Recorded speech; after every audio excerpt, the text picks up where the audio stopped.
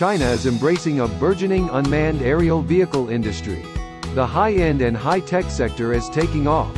The country sees the first maiden flight of an aircraft in 2022.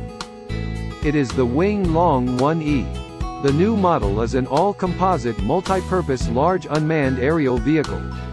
It is also the latest member of China's renowned Wing Loong Large UAV family. The Wing Loong 1E all-composite multi-purpose UAV successfully conducted an autonomous takeoff and then completed a 22-minute maiden flight on January 18. It is based on the mature Wing Loong UAV family with an optimized and upgraded platform. The developer made it to serve greater market opportunities for high-end UAVs. Large UAVs play key roles in safeguarding national security, economic development and people's livelihoods.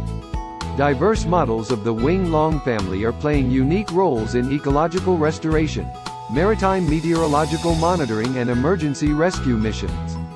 The progress of the Wing Loong family highlights China's determination and efforts in mastering independent key and core technologies in the aerospace sector.